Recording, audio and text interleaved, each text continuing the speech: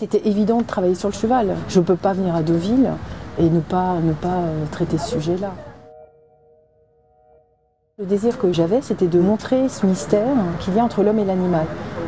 Dans le milieu du cheval, il y a plein de choses. Il y a les courses, il y a l'obstacle, il y a les, entraîneurs, il y a les gens qui sont quotidiens avec les chevaux et tout. J'ai la conviction que toute personne qui est dans le cheval a eu à un moment donné un magnétisme avec cet animal. Le cheval, pour moi, c'est euh, le rapport entre le ciel et la terre, le rapport à une forme de liberté, une sensibilité extrême, une fragilité extrême, une patience, le fait d'être très humble, parce qu'on ne peut pas, c'est un animal. J'adore ouvrir des portes. Donc ce qui m'intéresse ici, évidemment, c'est d'essayer de parler du cheval de manière plus évocatrice que, que réelle.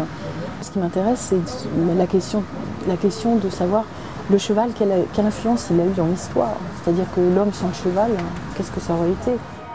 J'ai toujours regardé la représentation du cheval et jamais j'étais satisfaite. Il y a beaucoup d'arrogance, beaucoup de notion de pouvoir, la notion de, euh, euh, oui, de, force, et c'est pas forcément ce que je cherche. Donc j'ai trouvé par hasard cette petite figurine, c'est un petit poulain, et quand je me suis dit ok, je vais travailler à Deauville autour du cheval, cette figurine, c'était une évidence.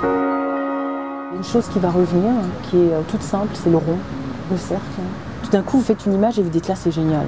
C'est-à-dire le puits de lumière, le cercle, vous posez la figurine, et là, vous voyez tout. Vous sentez que c'est quelque chose, c'est comme ça, dans cette simplicité-là, vous avez envie de vous exprimer. En fait, vous, tirez un fil, c'est très intuitif, puis tout d'un coup, vous avez des flashs et vous dites, mais attendez, les, figures de dressage, ce sont que des cercles. Les courses, il y a les jumelles, ce sont des cercles. Il y a plein de choses comme ça qui sont rentrées en ligne de compte. Et, euh, et puis bon, il y a d'autres choses que vous découvrirez sur les images liées au cercle. Je ne veux pas tout dévoiler quand même.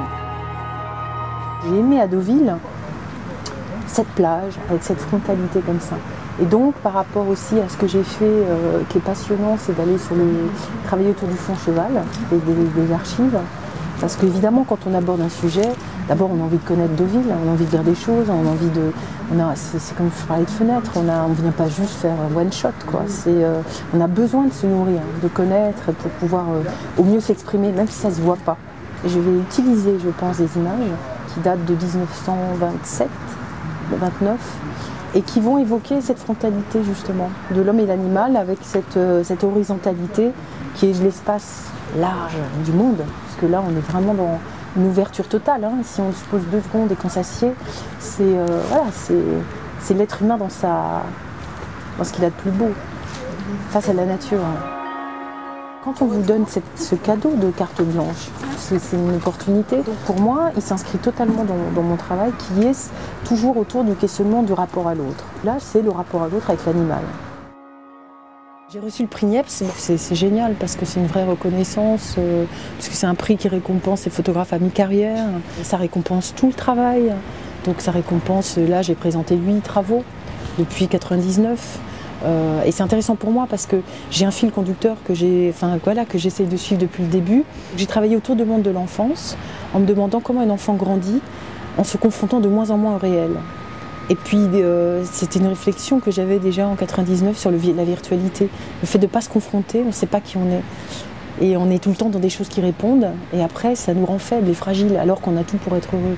C'est voilà, une réflexion qui est liée aussi à des gens qui n'ont pas la chance que nous, on a ici dans nos, pays. Des gens qui connaissent la guerre. euh, C'est un peu lié voilà, à cette sensibilité que j'avais sur ce qui se passait dans le monde, à l'autre bout du monde.